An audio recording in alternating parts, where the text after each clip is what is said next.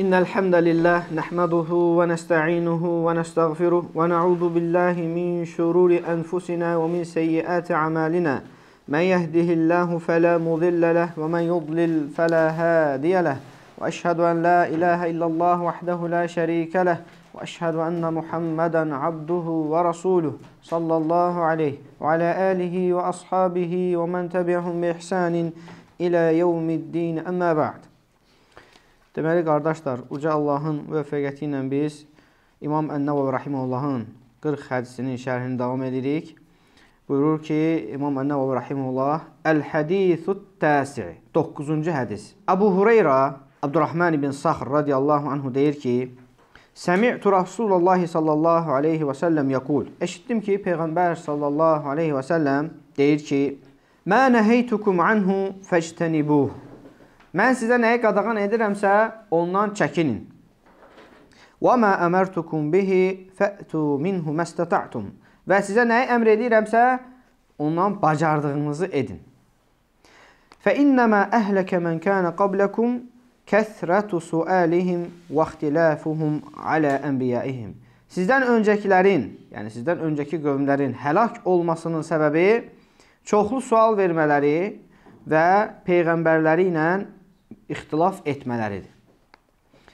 Ravahul Buxari və Muslim. Bu hədisi İmam Buxari rahimehullah və Muslim rahimehullah rivayet ediblər. Deməli qardaşlar, bu hədis də digər hədislər kimi çox mühüm, çox əhəmiyyətli olan hədislərdəndir. Müsəlmanın bir möminin həyatda tutacağı bir mənhəci, bir yolu burada e, sanki izah eləyir Peyğəmbər sallallahu əleyhi və səlləm. Əbu Hüreyrədən gəlir e, rivayət və sonra onun Abdurrahman ibn Saxr olmasını deyir.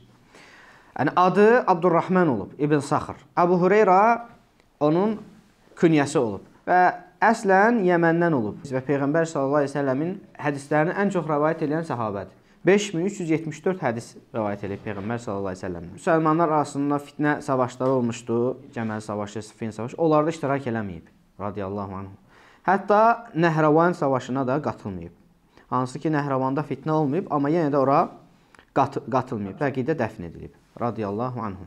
Deməli, qardaşlar, bu hədisin şərhində Şeyx Abdülmuhsin Əl-Abbad Hafizəhullah buyurur ki, bu hədisin təxricində rivayət etməkdə Buxari və Müslim rahimehullah ittifaq eləyiblər. Bizim hal-hazırda oxuduğumuz ləfz İmam Müslimin ləfzidir və bir çox ayələrin enmə səbəbi olduğu kimi bir çox hədislərin də ortaya çıxma səbəbləri olub. Yəni elə hədislər var ki, o bəyən səbəbə bağlı olmayıb. Peyğəmbər sallallahu əleyhi və səlləm onu xəbər olaraq, bilgi olaraq verib. Amma elə elə hədislər olub ki, onun səbəbi olub. Yəni müəyyən bir səbəbə görə Peyğəmbər sallallahu əleyhi və səlləm o sözü deyib və bu da o cür səbəbi olan hədislərdəndir. Və o cür ayələr də var. Müəyyən bir səbəbə görə enən ayələr də var.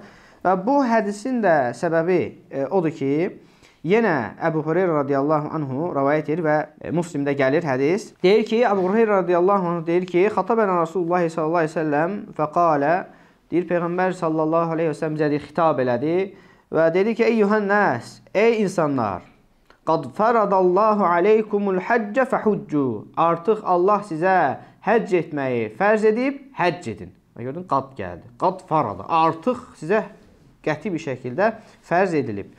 Siz də deyir, həcc edin. Fəqalə racul. Bir dənə kişi deyir, qayıdı oradan deyir ki, Əkullə amin ya Rasulullah. Hər il həcc edək, yəni hər il edək bunu, ey Allahın Rasulu. Fəsəkətə. Peyğəmbər sallallahu əleyhi və səlləm susur. Peyğəmbər sallallahu əleyhi və səlləm susur, cavab vermir. Hətta qaləhə sələsən. Hətta deyir o kişi o sualı deyir 3 dəfə təkrarlayır. Əkullə amin ya Rasulullah, yəni hər il həcc edək, hər il 3 dəfə təkrarlayır. Və Peyğəmbər s.ə.v sonra buyurur ki, Ləv qultu nəm ləvəcəbət. Əgər deyir, mən bəli desəm, vacib olar. Və ləməstətətum. Və siz də bunu bacarmazsınız. Sonra deyir, deyir ki, Zəruni mə tərəktukum. Mən sizi nədə tərk etmişəmsə, sizə nəyi bildirirəmsə, ondan siz də kifayətlənin. Məni tərk edin o şeydə. Yəni, mən sizə nəyi deyirəmsə, siz də ondan kifayətlənin. Məni tərk edin o məsələdə. فإنما هلك من كان قبلكم بكثرة sualihim və ixtilafuhum ala anbiya'ihim. Sizdən öncəkilərin həlak olmasının səbəbi çox sual vermələri və peyğəmbərləri ilə ixtilaf etmələri olub. Fəidə əmərtukum bi şeyin, mən sizə deyir bir şey əmr etsəm, fətu minhu məstəta'tum. Bacardığınızı edin. Sizə bir şey əmr etsəm, ondan bacardığınızı edin. Edin. Fə izə nəhəytukum an şeyin fədəuhu. Və sizə bir şeydir qadağan etsəm, onu tərk edin. Bax, deməli bu hədisin əvvəlindəki Əbu Hureyra radiyallahu anhunun bildirdiyi məsələ, o kişinin o sualı təkrarlaması bu hədisin səbəbidir. Yəni bu ona görə bu, bu səbəblə Peyğəmbər səlləm bu cür buyurub. Bax Peyğəmbər səlləm buyurur ki: "Mən nəheytukum anhu fəstənibuh." Mən sizə nəyi qadağan edirəmsə, ondan çəkinin.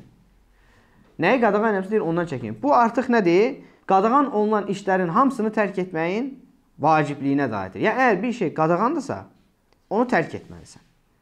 Və, və bu tərkdə heç bir əziyyət, heç bir iş yoxdur, heç bir feil yoxdur. Tamamilə həmən məsələni tərk edirsən, iş bitir, etmirsən. Amma əmrlərə gəldikdə isə deyir ki, bacardığınızı edin. Çünki əmrləri yerinə yetirmək üçün hansısa bir feili etməyə ehtiyac var. Bu, bu da bacarığa qayıdır. Ona görə deyir, bacardığınızı edin. Şeyx Abdurrazaq Hafizullah buyurur ki, burada deyir möminin həyatında bu hədisdə tutub gedəcəyi mənhəci izah olunur. Sən deyirsən ki, Muhammedən Rasulullah. Muhammed sallallahu əleyhi və səlləm Allahın elçisidir, rəsuludur, peyğəmbəridir. Artıq sən bunu şəhadəti gətirməklə, bunu qəbul etməklə nə demiş olursan? Yəni bu Allahın bizə göndərdiyi elçisidir və onun öyrətdikləri bizə Allahın qanunlarıdır, yoludur, mənhəcidir. Artıq sən onu eləməlisən, onu özvə mənhəc olaraq, yol olaraq tutub getməlisən. Yəni nədən qadağan edirsə çəkinməlisən, nəyə əmr eləyirsə də bacardığı etməlisən. Bu elə bir ki, hər bir möminin e, tutduğu bir yol olmalıdır.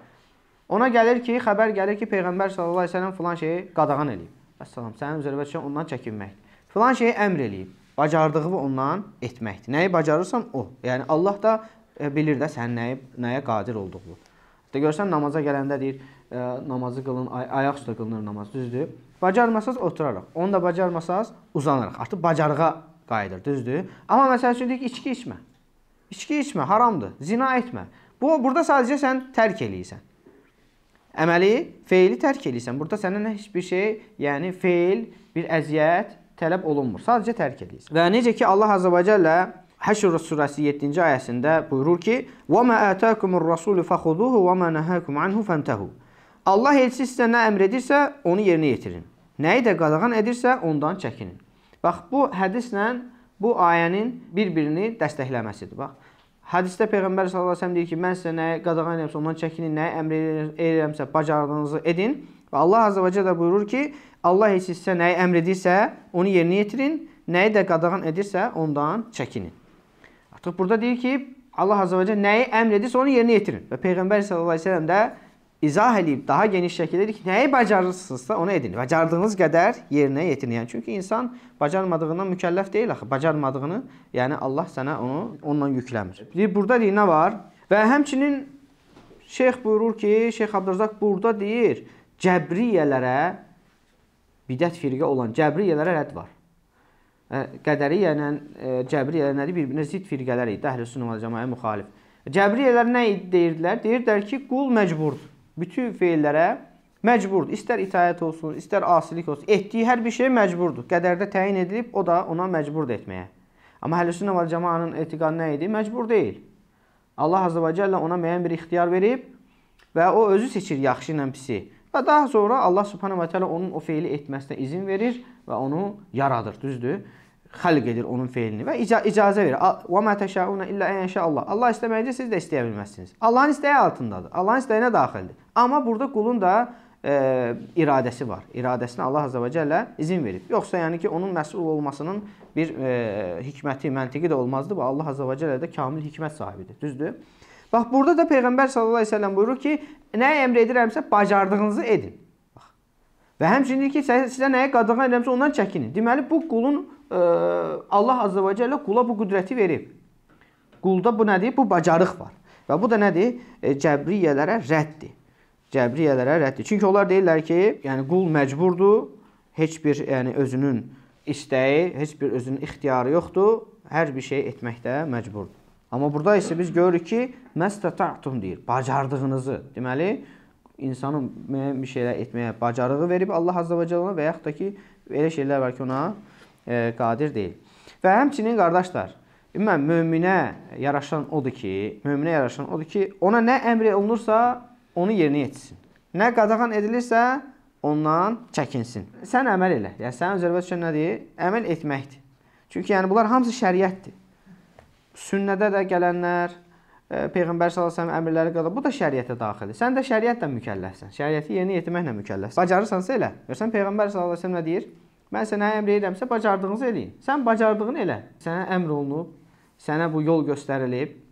Hətta vaciblik, fərz baxımından olmasa belə, yəni o sünnətlər də əməl etmək üçündür. Və sonra burada qardaşlar, sual verməkdən Peyğəmbər sallallahu əleyhi və səlləm bəhs edir. Yəni çox sual vermək. Və bu sualların da növləri var. Sual verməyin növləri var. Yəni gözəl bir şəkildə Allahın elmini öyrənmək üçün, Allahın dinini öyrənmək üçün sual verməkdə heç bir problem yoxdur. Əksinə Allah azza və cəllə buna təşviq edir, əmr eləyir. Buradakı qadağan olunan bu suallardan məqsəd nədir? Məsələn, inadkarçılıqla verilən suallar. Məsələn, Bənu İsrailin Musa əleyhissalamla inat, inatlaşması kimi. Və Bənu İsrailin qissəsini hamınız bilirsiniz. Bənu İsrailə Musa əleyhissalam deyir ki, Allah sizə bir inək kəsməyinizi əmr eləyir. Bax, adi bir inək. Heç bir sifəti, heç bir keyfiyyət orada yoxdur. Sadəcə deyir ki, Allah sizə əmr edir ki, bir inək kəsin. Və onlar deyirlər ki, bizə ələ salırsan. Allahın peyğəmbəri ilə bax inadlaşdılar bax. Və suallar verməyə başladılar. Bax çox suallar, bax.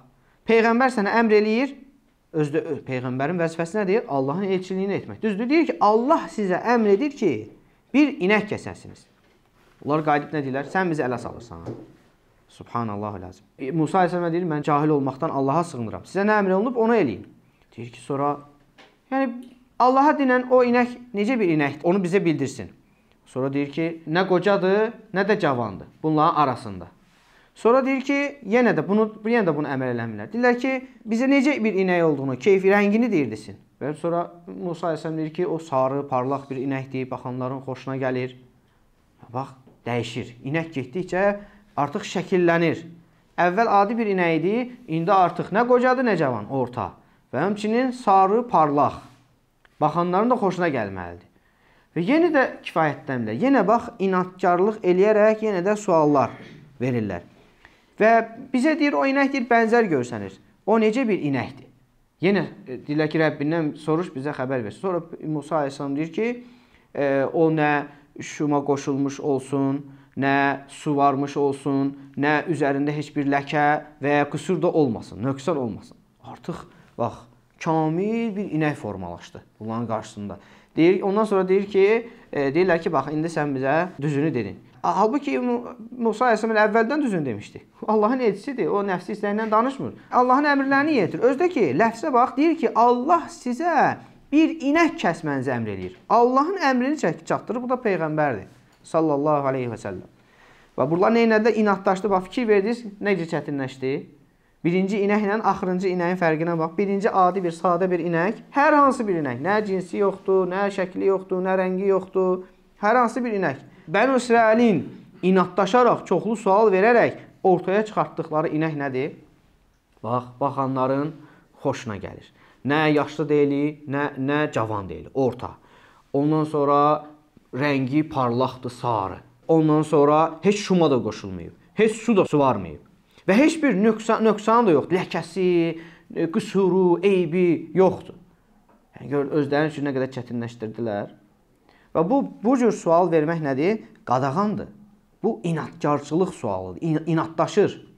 Sənə Allahın peyğəmbəri əmr edir, yerinə yetir. Zaten Şeyx Abdurrazaq gözəl bir burada dünyavi misallardan bir fayda gətirir. Deyir ki, bu cür sualları əməl etmək istəməyən verir.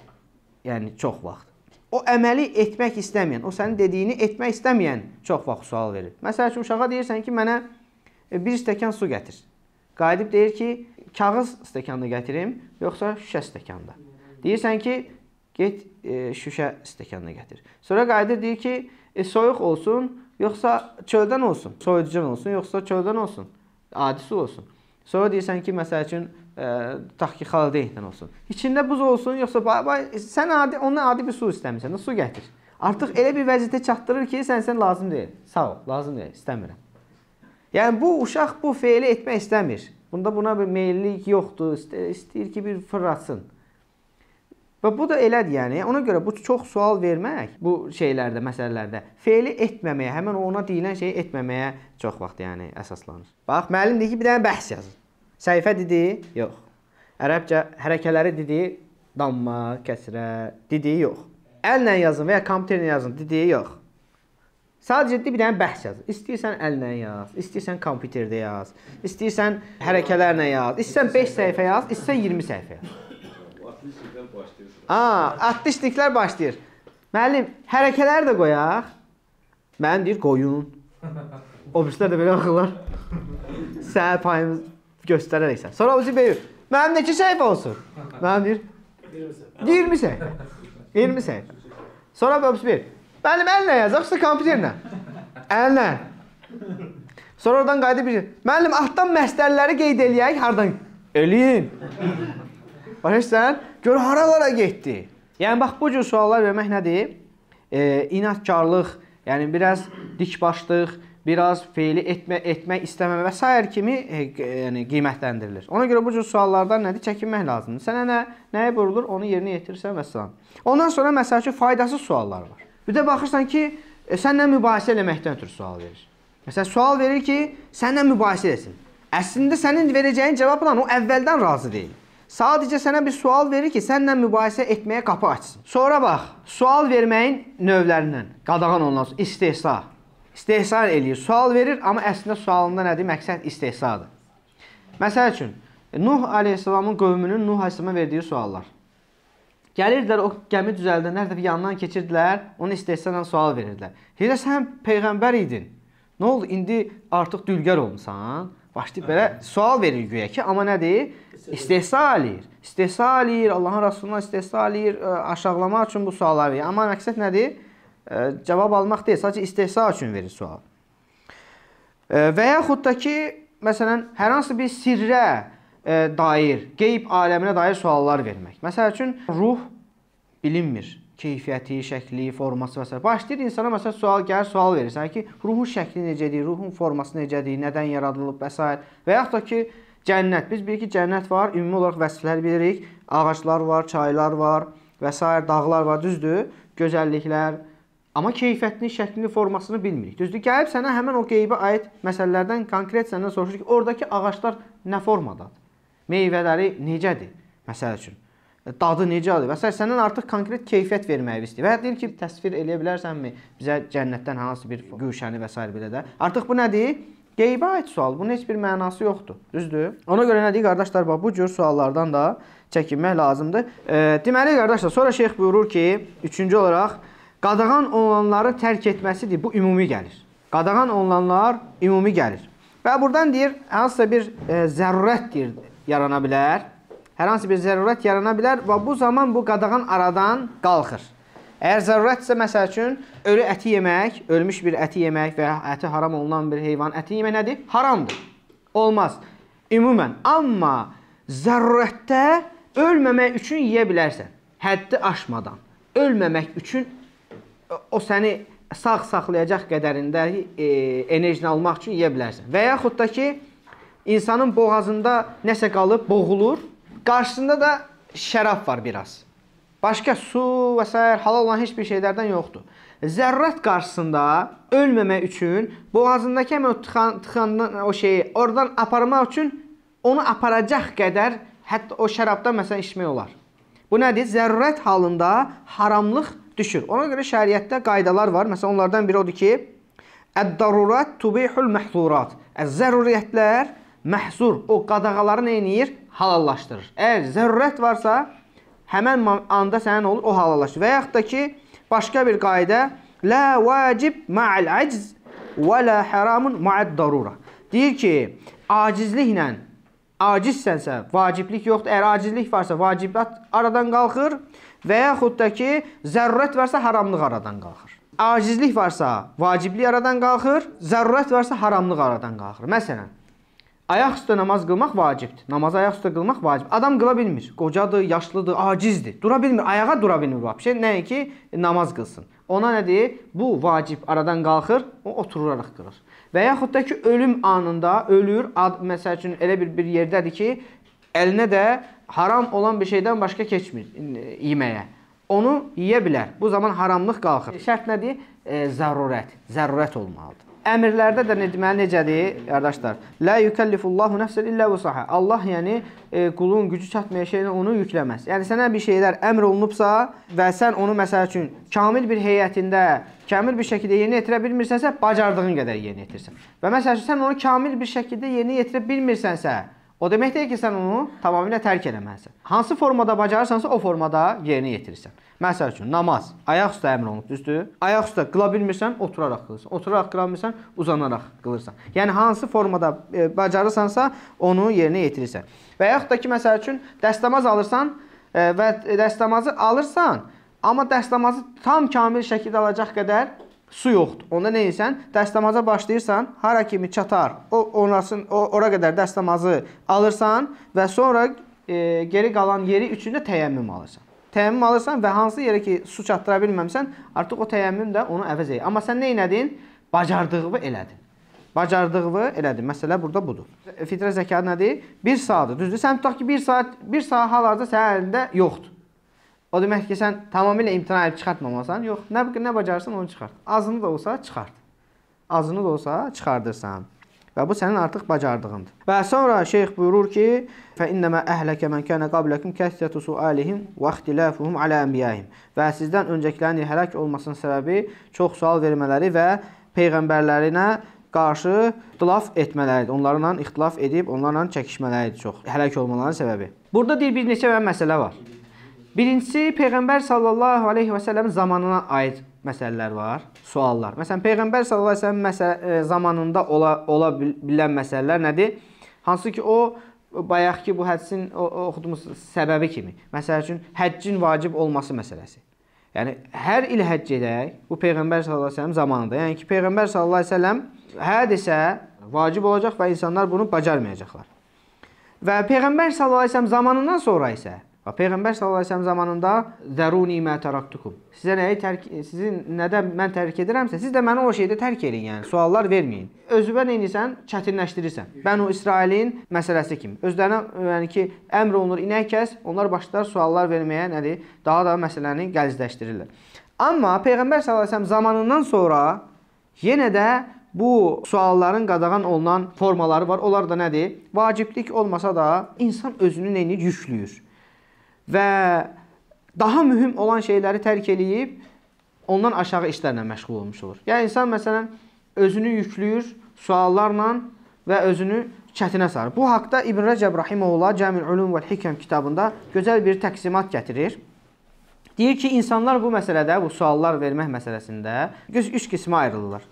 Birinci qism odur ki, onlar fikri tamamilə tərk edirlər. Tamamilə özlərinin dininə aid olan məsələləri belə Tərk edirlər, öyrənmirlər. Allah Cəllə deyir ki: "Fəsəlu əhlə-zikri in kuntum la ta'lamun." Əgər siz bilmirsinizsə, zikr əhlindən soruşun. Yəni burada nədir? Sən dinivə aid hər hansı bir məsələni bilmirsənsə, sən bunu soruşmalısan, öyrənməlisən. Sual elmin yarısıdır. Gözəl sual vermək elmin yarısıdır. Sənə əməli və e, səni Allaha yaxınlaşdıracaq, səni cənnəti qazandıracaq və həmçinin e, e, salih əməllər görmək üçün sənə yardımcı olacaq sualları verməlisən. Bu dinimizin gözəlliyindəndir. Bəzi insanlar olub ki, deyir, bu cür sualları belə tərk ediblər və nəticədə onlar nə olublar? Fikirləri zəifləşib. Yəni dini anlamaları, dinini başa düşmələri zəifləyib. Artıq başa düşməyiblər dindəki əhkamları və s. Çünki sual verməyi ümumən tərk ediblər. Bu birinci qism. İkinci qism hansılardır? Onlar deyir, bu məsələdə çox həddini aşıblar. Sual vermə məsələsi o qədər həddini aşıblar ki, artıq özlərini yükləyiblər. Bu da deyir bəzi ümumiyyətdən olan fiqhlə məşğul olan insanlarda deyir ortaya çıxıb ki, bu cür şeylər e, onlar bu qaydalar qoymaqda, bu adətən heç baş verməyəcək belə işlərdə olmayan və baş verməyəcək işlərdə qaydalar qoymaq, hökmlər çıxartmaq, bunu cavab verməklə özlərini yükləyiblər.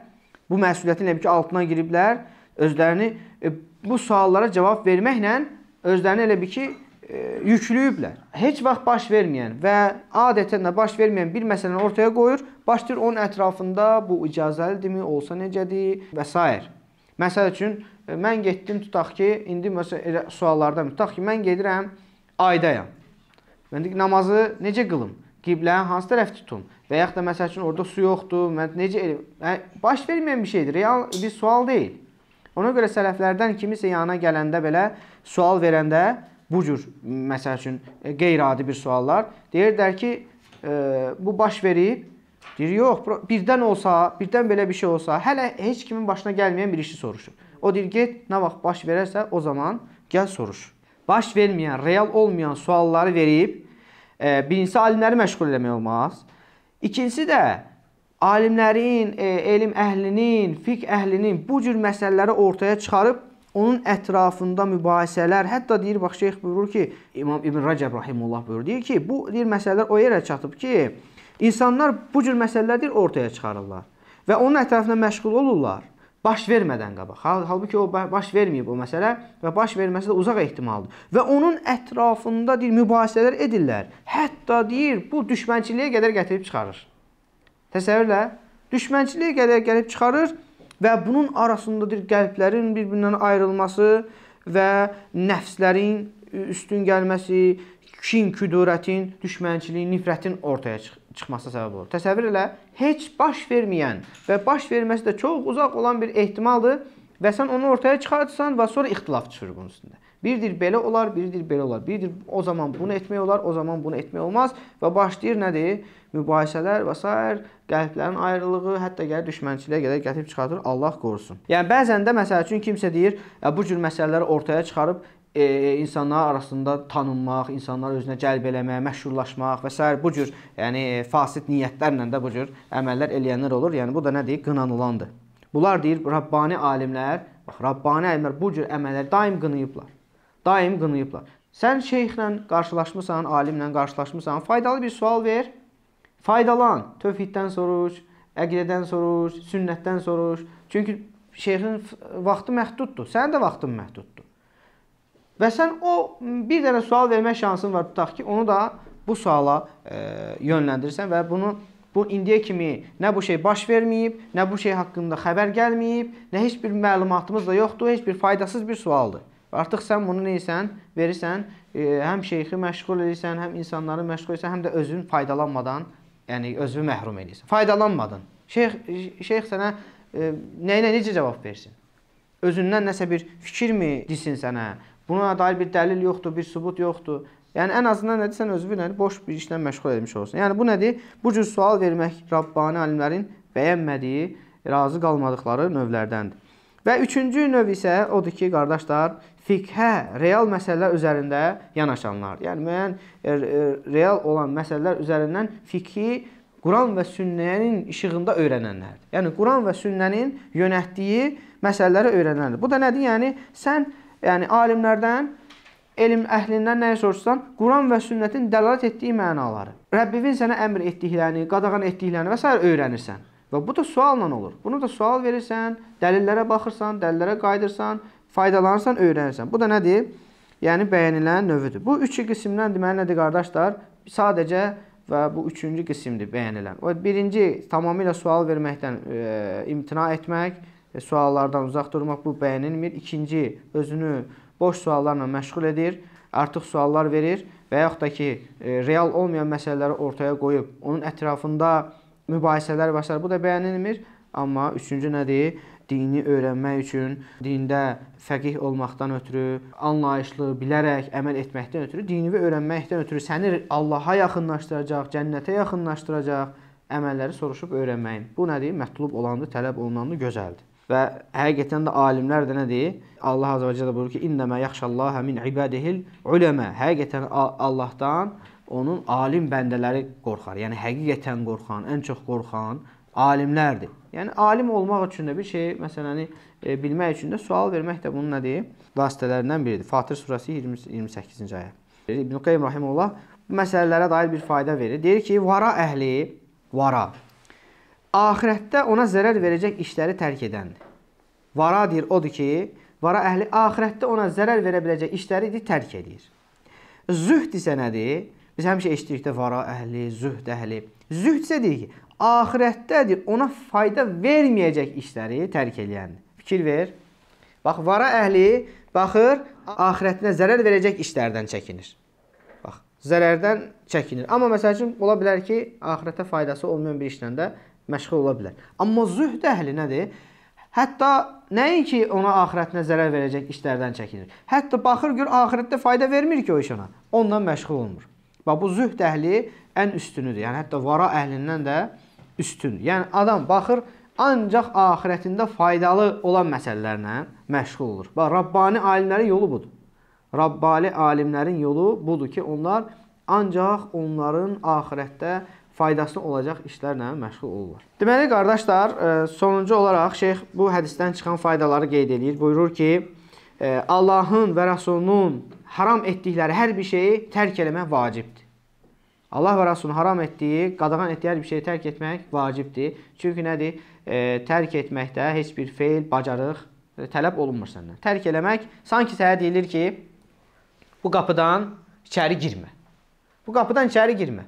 Bu qapıdan içəri girməmək üçün səndən nəsə bir enerji tələb olunur, nəsə bir hərəkət, feil, iş tələb olunur. Yox, sadəcə o qapını açmırsan, içəridə girmirsən. Sadəcə tərk eləyirsən. Bu hər kəsin bacara biləcəyi bir işdir.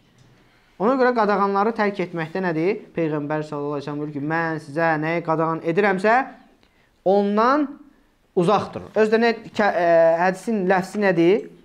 Bax, Mə nəheytukum anhu fəctənibuhu.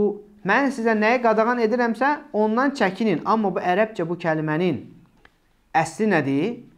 Fəctənibuhu, ondan çəkinin. Cəm bilirsiniz nə deməkdir qardaşlar? Yəni sən bir tərəfdəsən, o əməl səndən başqa tərəfdə. Yəni sadəcə əməli tərk etmə. Ondan hətta uzaqlaş. Həmən o qadağan olunan əməldən sən uzaq durmalısan. İctinəb.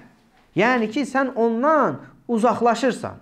Sadəcə tərk edib yanında durmursan. Sən o əməldən hətta uzaq durursan. O başqa bir cəmdə, bir tərəfdə, sən başqa bir cəmdə, sən başqa bir tərəfdəsən. Onunla aravı o qədər ayırırsan. Əsl yəni ki, e, yanaşma bu olmalıdır.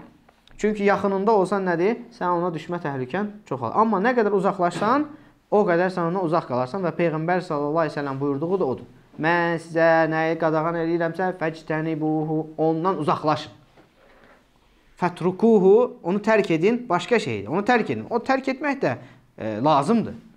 Amma Peyğəmbər sallallahu daha bəliğ bir kəlmə deyir. Kamil bir şəkildə. Cavamil kəlim. Az kəlmələrdən istifadə edir, amma geniş mənalar. Ondan deyir, uzaq durun. Və ayədə də gəlir, "Və la taqrabuz zina." Zinaya yaxınlaşmayın. Zina etməyin demir Allah azza və cəllə. Deyir ki, zinaya yaxınlaşmayın. Yəni uzaqlaşın. Zinadan uzaq durun. Və Peyğəmbər sallallahu əleyhi və səlləm də onu deyir. Nəyi qadağan etmişəmsə deyir, ondan uzaqlaşın, uzaq durun. Və sonra ikinci olaraq Vücubul ihtiyam bi kulli ma awjabahu Allah və Rasuluhu və eyni zamanda da Peyğəmbər sallallahu əleyhi və səlləmin və Allah azza və cəllənin vacib etdiklərini yerinə yetirmək. Bunun vacib olması. Sonra bizdən öncəki əhl kitabın düşdüyü qadağalara düşməkdən çəkindirmək. O da nə idi? Çoxlu sual vermək və peyğəmbərləri ilə inadlaşmaq, onlara müxalif olmaq.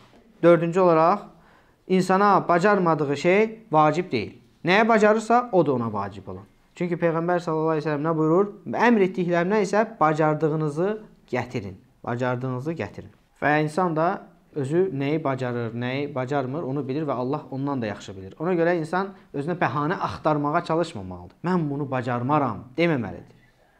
Çalışmalıdır nə etsin? Bacardığı formada yerinə yetsin.